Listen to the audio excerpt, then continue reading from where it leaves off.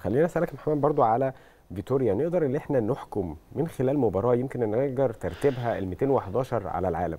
فهل المباراة دي نقدر إن إحنا نحكم فيها كبدايات لفيتوريا ولا ننتظر؟ وشايف التناغم في الملعب كان عامل إزاي؟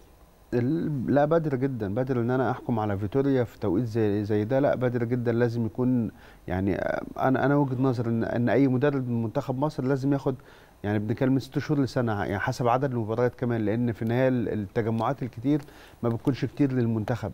في توقف لسه جاي عشان كأس العالم في ده أول معسكر ليه. فهو محتاج وقت طويل جدا عشان يقدر كمان يمكن ما فيش دوري كمان حتى الآن ما فيش مباريات فلازم يبدأ يشوف الدوري يشوف اللعيبة يبدأ يختار يبدأ يلعب مثلا خمس ماتشات 10 ماتشات يلعب مع منافسين أقوياء. كل الحاجات دي بتفرق معاه مع اختياراته. وانت طالما اخترت مدرب أجنبي ومقتنع بالمشروع بتاعه التعاقد معاه موسمين كمان سنتين.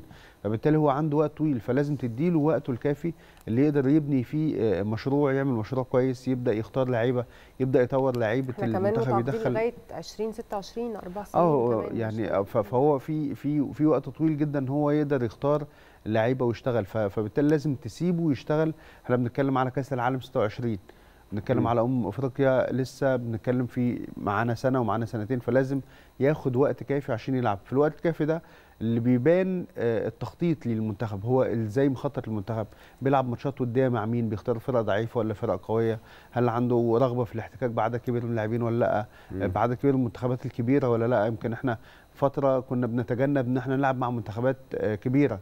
ماتشات ودية. فده طبعا بيكون تاثير الجولات اللي عملها قبل المعسكر في عدد من الأندية وكان أعتقد ده بيتابع وبيشوف بيتابع طبعا وبيحلل الأداء وبيعمل قياسات بدنية للاعبين وبيحلل الأداء وبيشوف كل لعيبه والدليل إن إحنا شفنا واحد زي محمود حمادة مثلا من فاركو بيلعب مفاجاه مفاجأة مفاجأة للجميع مثلا.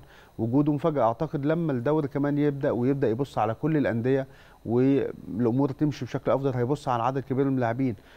إحنا محتاجين ده محتاجين إن إحنا نوسع القاعدة محتاجين نختار آه محتاجين ده بشكل كبير آه.